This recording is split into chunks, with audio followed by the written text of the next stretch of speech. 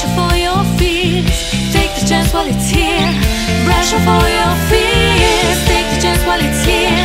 Brush up for your